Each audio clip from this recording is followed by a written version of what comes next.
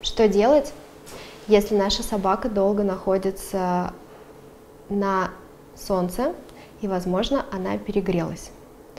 А, в летнее время мы стараемся не гулять с нашими питомцами тогда, когда идет солнцестояние. То есть мы стараемся выгуливать нашу собаку до 10 часов утра и после 4 часов вечера, когда солнышко уходит из зенита.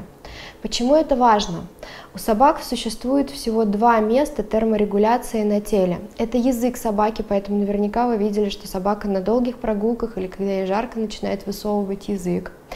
И это подушечки пальцев. Более терморегуляции у собаки не происходит нигде. Почему мы стараемся не гулять в очень жаркое время? Потому что нагревается асфальт, нагревается земля, и собачка не может осуществлять терморегуляцию всеми своими функциями. Здесь остается только язык. А важно при долгих прогулках иметь с собой, конечно же, водичку.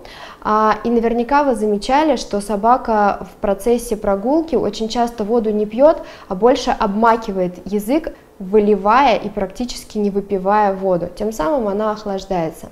Как понять, что наше животное перегрелось?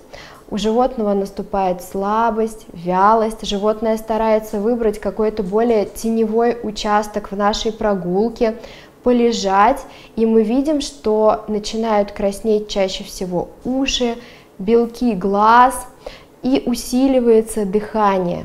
В этом случае нужно увести животное в тень, если мы видим, что начинает теряться сознание у собаки или она неадекватно реагирует на наши команды или то, что мы живем, или то, что мы зовем своего питомца, в этом случае собаку желательно доставить в клинику.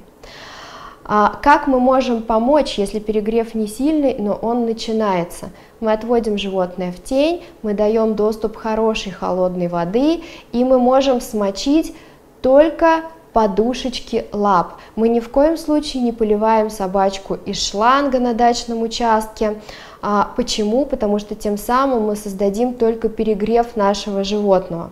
Что еще важно помнить? Владельцы очень часто, путешествуя на дачу и обратно, оставляют своего питомца в машине и уходят на какое-то время. Пожалуйста, не делайте этого. Это самая частая причина перегрева нашей собаки.